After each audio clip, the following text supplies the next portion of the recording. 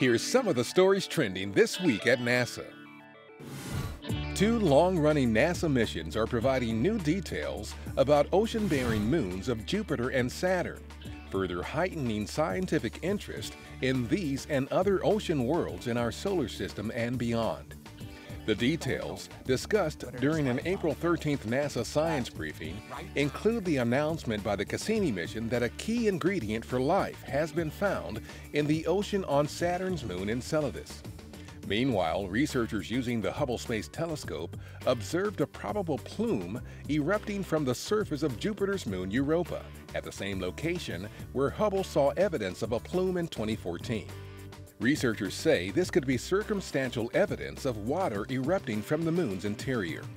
Hubble's monitoring of plume activity on Europa and Cassini's long-term investigation of Enceladus are laying the groundwork for NASA's Europa Clipper mission, which is being planned for launch in the 2020s. On April 10th, the International Space Station's Expedition 50 crew, including NASA's Shane Kimbrough, returned safely to Earth hours after leaving the station. Kimbrough and crewmates Sergei Ryzhikov and Andrei Borisenko of the Russian space agency Roscosmos landed in Kazakhstan, wrapping up a 173-day mission. Expedition 51 Commander Peggy Whitson of NASA remains on the station, along with her crewmates Oleg Novitsky of Roscosmos and Thomas Pesquet of ESA.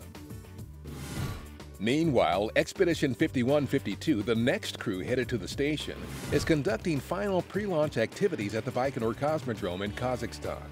NASA's Jack Fisher and Soyuz commander Fyodor Yurchikhin of Roscosmos will launch from Baikonur April 20th for a four and a half month mission on the space station.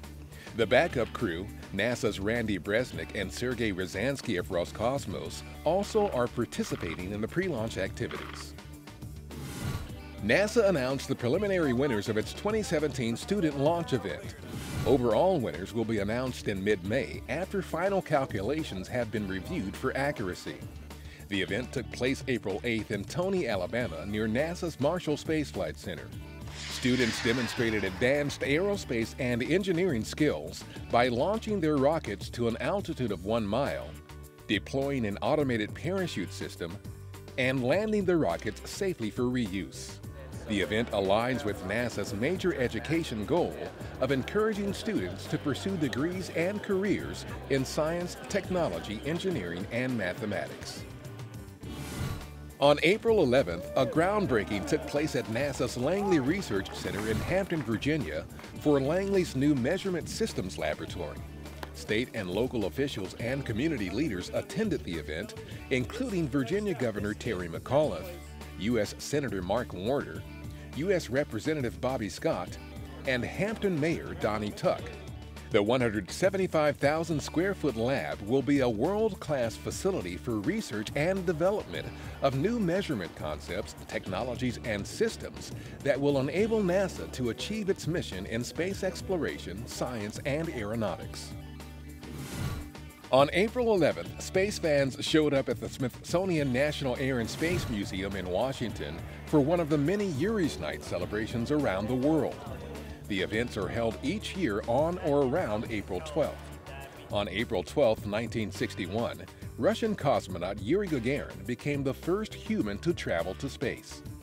On April 12, 1981, NASA astronauts John Young and Bob Crippen launched aboard Space Shuttle Columbia on STS-1.